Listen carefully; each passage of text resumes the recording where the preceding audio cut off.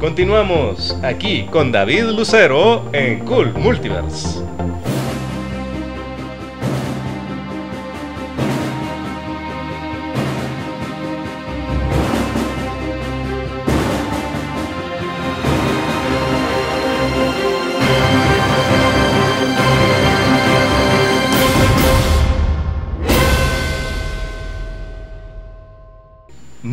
Interesante eso que platicabas de tu familia.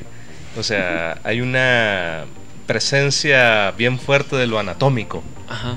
del físico, la estética, y creo que eh, de una u otra manera se ve reflejado en tu arte. Sí, bastante. Porque hay algunas, como por ejemplo mencionabas también fuera de cámara, a Titania, por Ajá. ejemplo, wow. Así, literalmente, qué mujerón se ve. y, y ahí mencionabas un detalle, el de, la, el de los tacones de plataforma. Ajá. ¿Cómo es que salió?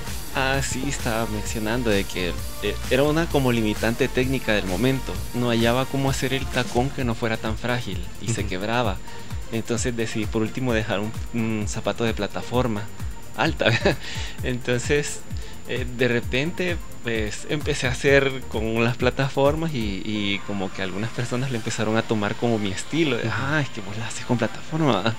Entonces al, al final pues ya resolví el problema técnico del, del tacón de aguja que no se quebrar pero me gustó la plataforma y me quedé haciendo como con zapatotes de plataforma Eh,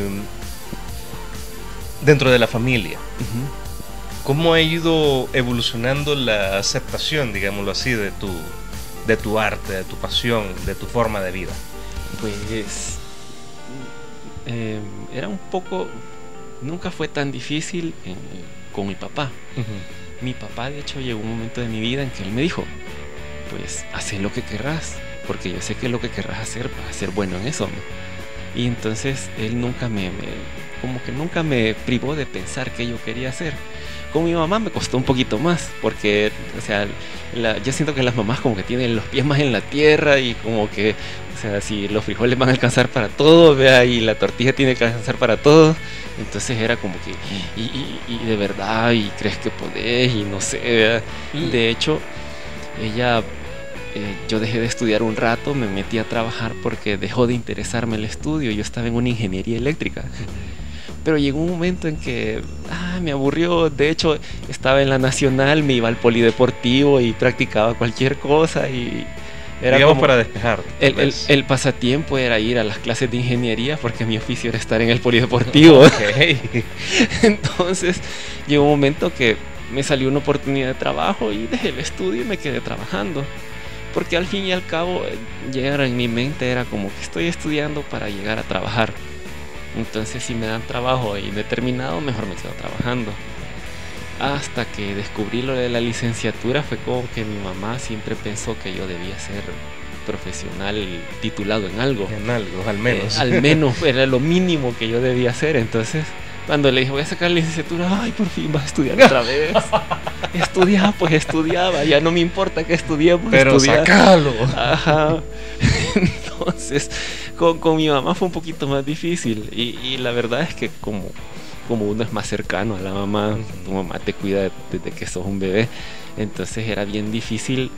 Este, Cómo contradecirla, cómo Ajá, estar en... Era difícil decirle. con ella. Sí, no, o sea, yo me voy a dedicar a esto y no me importa si crees que no lo voy a lograr. ¿ve? O sea, no podía decirle eso. Sí. Nunca se lo dije. Eh, ese es de los errores que muchos hijos cometen, por ejemplo. Eh, tratan de decir, sí, está bien que quieras perseguir tu sueño, pero el problema es que no sopesas eso que, que dijiste en algún momento. La perspectiva, la percepción que tienen, en este caso, por ejemplo, la madre de la situación de los hijos. Ajá. Porque como hablábamos, por ejemplo, con Gris en capítulos anteriores, era eso de que ellas quieren que te titules, que seas un profesional, que, que cotices al seguro, que tengas la pensión y así lo que la sociedad te ha establecido. Ajá. O sea, no vamos a decir de que, está, que es incorrecto, pero No. tal vez no va con lo que uno con lo que uno piensa o con lo que uno pone en perspectiva. Sí. Habemos seres extraños que preferimos cosas diferentes. sí. Ajá, y, es cierto, no es que sea malo, no es que sea malo tener un trabajo formal, tener seguro social, de hecho a veces hasta conveniente, cosas así. Ciertamente. Pero la cosa es darte cuenta que no es la única forma de subsistir y tampoco es el único camino al éxito. De hecho, muchas veces ese camino lleva a la mediocridad más que al éxito. Entonces ahí ya, ya depende más como de, de, tus motivaciones internas. O sea, pues sí, a ponerle que pueda ser el que está atendiendo en, en, la ventanilla del seguro social, pero si, si, si tu motivación es ser el mejor en eso, entonces claro que vas a triunfar en eso. Pero si, y puedes escalar. Ajá, pero si ese no es tu interés y solo estás ahí porque tenías que comer de algo. Ajá, entonces pues, eso es lo que lleva a la mediocridad de la gente, pues el, el, ni modo. Ese es el problema, creo yo. ¿Cuál es, eh, o ¿Cuál es el tipo de esculturas que se te facilitan más? Mm, tipo de escultura, vamos a ver. Es, es eh, un poquito como un problema de definición, porque en escultura quizás podemos hablar de técnicas, podemos hablar de temáticas, porque mmm, ponele, vea, si hablas de técnicas, decís hay modelados, hay, hay tallas directas, este, que creo que es así como lo más general, vea ahí. A ver, ilústranos un poco. ¿Cómo es eso? Eh, ¿Qué es el modelado? ¿Qué es la talla directa? Vaya, yo en un poco en mi mente, he, he dividido así como dos grandes ramas. Hay modelado y hay talla directa. La talla directa es como cuando agarras un tronco, muy tronco, empezás a, a, quitar pedazos, ya sea con, con, lo que sea, ¿verdad? Un cuchillo, un corvo, Ajá, las herramientas ya, ya propias, que gubia, formones, este, tengo un chero que usa sierra eléctrica y, y, un montón de herramientas eléctricas, pero la onda es que la talla directa es sustraer. Tenés una piedra, la cortás, le quitas. El modelado es agarrar un material blando y empezar a, darle forma con tus manos o herramientitas, lo que sea, pero que sea un material blando que tú le das forma. El otro es como un material sólido que vos lo vas escarbando. Esa es como diferencia entre modelado y tallado. Entonces un modelado pues depende al final si, si no puedes conservarlo como digamos una plastilina, que pues con el tiempo se va a degradar, se va a deshacer, la golpea se deshace, entonces le haces un molde y al molde le haces una colada ya de un material que va a ser permanente. puede, puede ser cemento, puede ser resina, puede ser bronce. ¿Cuál es el material que más utilizas en ese caso? Yo ocupo resina. ¿Por qué? Las coladas en resina porque puedo hacer figuras más livianas. Mm, si fuera cemento, pues un bloquecito de cemento de este tamaño. Sí, ya pesa. Ya son 40 libras y 40 libras nadie se las va a llevar en las manos. Entonces ya si puedo hacer una pieza de este tamaño en resina, ya la puedo dejar de 10 libras. Y eso ya se lo pueden llevar en las manos. Sí. Eh, hablando de llevárselas en las manos, hace no mucho, tal vez si no fue el año pasado, fue a principios de este, que hubo una premiación en el cual se entregaron figuras que tú hiciste. Ah, fue la cancha del arte. Eso. se me había olvidado. Ajá, es una iniciativa del Canal 10 para premiar artistas. Sí, sí. Entonces, este... ¿Era una Minerva la que entregaron? Ajá, Amilcar Durán es el, el que está con esta iniciativa y él me habló y entonces me dijo de que sí podía hacer, diseñar la presea. De hecho, él me dijo que le interesaba que fuera un artista salvadoreño el que la hiciera, más que una empresa o algo así, le interesaba eso.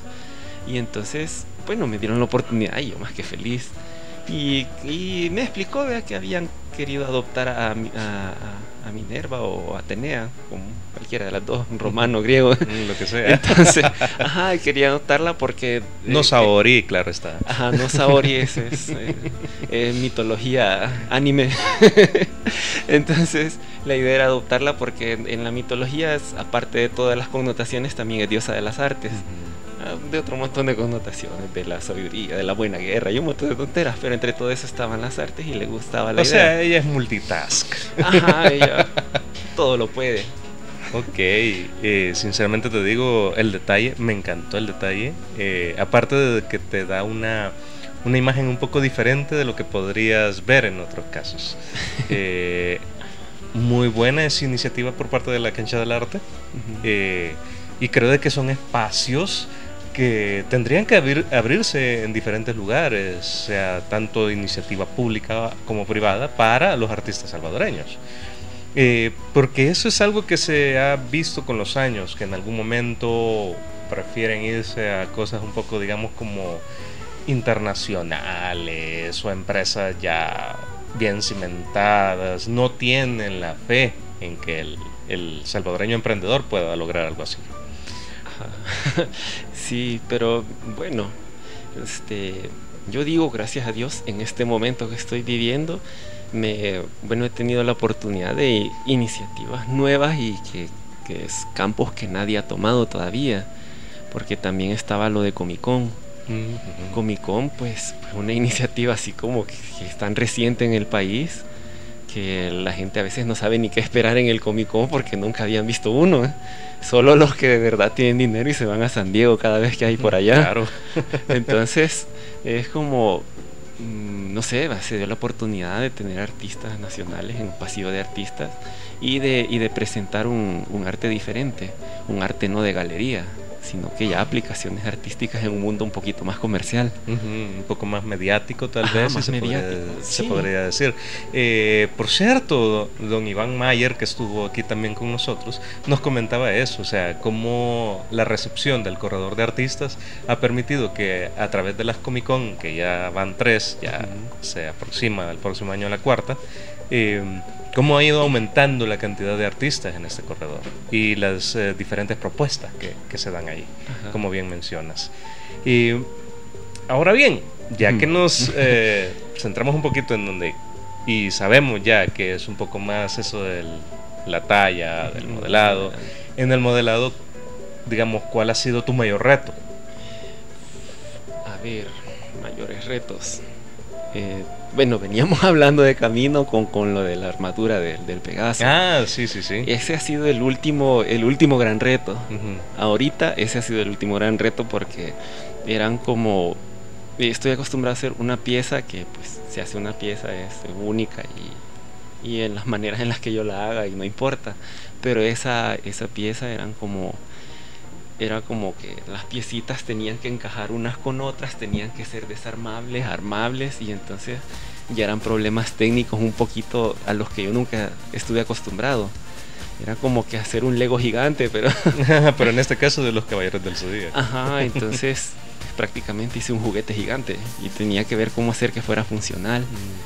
Porque, el, bueno, de hecho llegaron lo- los, el, el staff del Yume a mi casa a traer la pieza y era como, vaya, ahora les vamos a enseñar cómo se arma y se desarma. Porque ellos tenían que ir a armarlo a la, a la- A la a convención. la convención. Y ahí ya no me hice cargo, vaya, ustedes lo van a montar. Lo siento.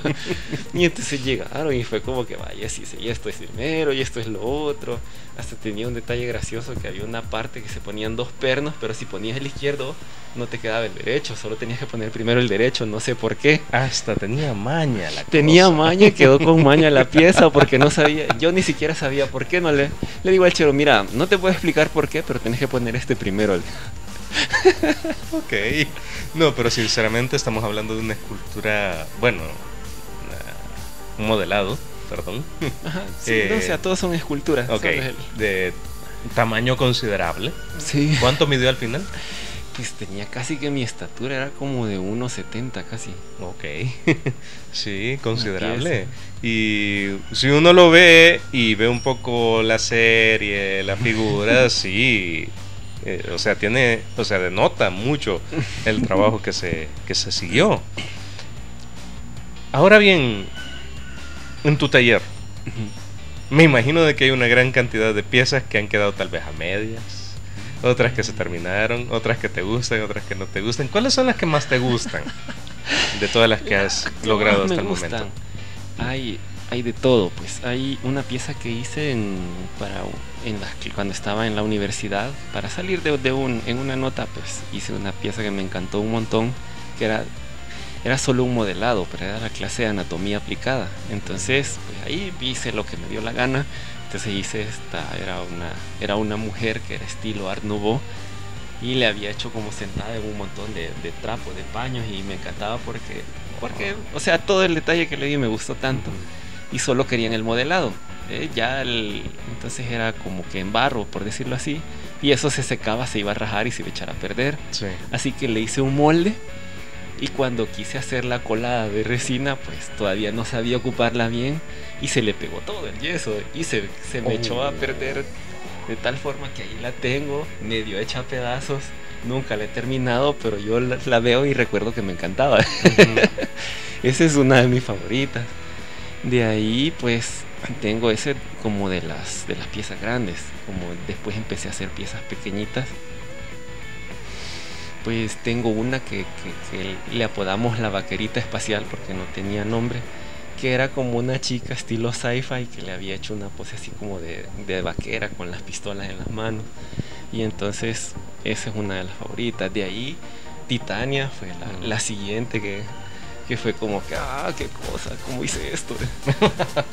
ok, bueno. Mm,